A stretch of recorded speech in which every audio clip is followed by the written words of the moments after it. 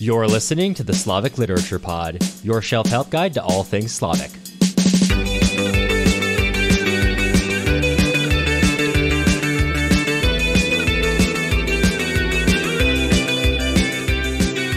I'm Cameron Lalana. And I'm Matt Gerasimovich. And this is part one, chapter 38 of Vasily Grossman's Life and Fate, talking about the night, talking about calm air, about the previously to previous to the deployment to Stalingrad. Uh, is there anywhere that you would like to start in particular about uh, this Boy Scout outing? Yes, as, a, as our as our I would. resident, you you made it all the way to the Boy Scouts, didn't you? The boys, no. No. That- all right, neither of us, neither of us made it to the Boy Scouts. Sorry, neither of us are in a position to talk about this. I feel like out of the two of us, you would know a lot more about, I don't know, knots, various foraging. I made it four fifths out of the way through the Cub Mhm. Scouts. Okay. I think I think you got me beat on that one. But uh, Okay, all right, speaking of our Boy Scout outing, sure. this was a very interesting chapter to have placed right after the last one. Because in the last chapter, we had a not so nice anti Semitic incident between uh, a, a lot of the people in this regiment. And now we have them singing and drinking together and having a good time, getting ready to go off to battle. And so I I think it's well, for one, just an, an interesting contrast between the two.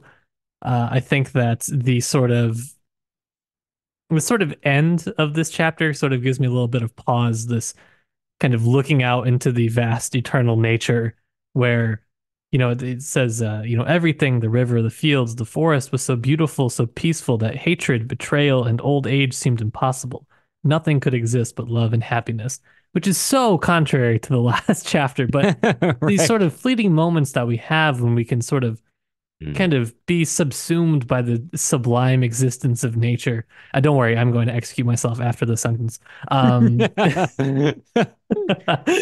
I, I don't. I also hear it when I when I talk sometimes, but uh, Only sometimes. only sometimes. But just you know these these moments where you can just look out and everything feels at peace for just this moment, and and Grossman really captures this beautiful fleeting essence of what that is like, and of course that that can't that can't stay, and what had seemed so infinite during the night was now dissolving in the blue of the sky as the pilots are taking off, and you know wouldn't it be nice to stay in in this world of uh, of beauty where there is no hatred and there's just love and happiness. But no, we have to go off to war, and not only the the world of war, but also the world of the previous chapter, which is uh, not exactly harmonious relations between uh, or among everybody in this regiment. Is that a good place to start? Yeah, I mean, it's a good place to start. It's a good place to talk about, I guess, the position of warfare. So many soldiers. Um, we've we've we've started with Viktorov in the forest and kind of the the larger feelings, the hotshot feelings of a young soldier going to war. Uh, we've had we've had some uh, interrogation of what it means to be Jewish in the Soviet Union, and now finally we have kind of the the hour of takeoff, the hour of the bitter hour of parting. You know, one pilot would forget his curl in a couple of days, another couple would be separated by death, another would be allowed to meet again, as it says at the end of the chapter. We have all these soldiers and this. I don't know how to talk about it. Like this relationship of people who have not yet had the cell phone, who when they leave, they've they've like it sounds glib to say, but like truly, when you leave, you left, right? Like now I leave and I go, you know, an hour away, uh, an hour away, and I text my girlfriend like, "Hey, what's up?"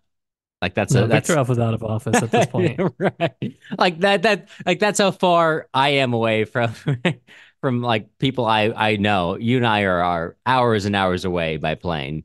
And yeah, I can text you at any point of the day. It's like, "Hey, what's up?"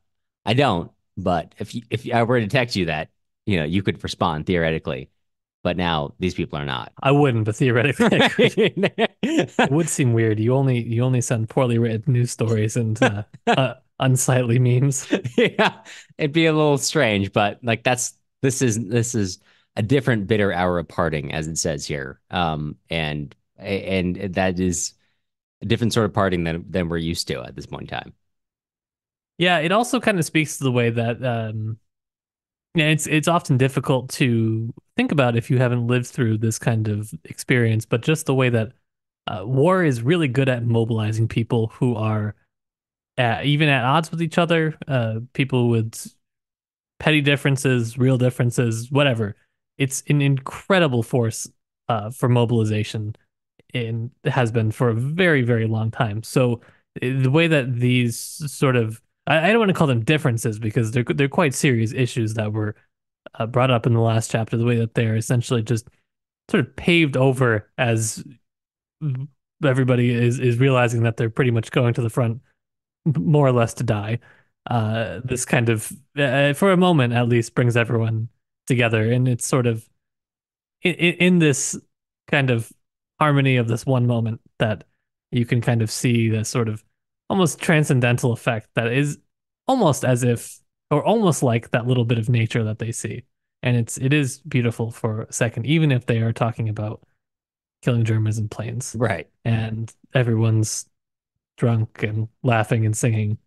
It's all right, just for just for a second. And Grossman won't let that continue, but for a second, it's all right. that that's a good that's a good subtitle for this book. For just a second, everything's all right. yeah, yeah, just a second. just a second. And that second will not last, as we will find out. Tomorrow. We'll get into it tomorrow. You'll hear from us again uh soon.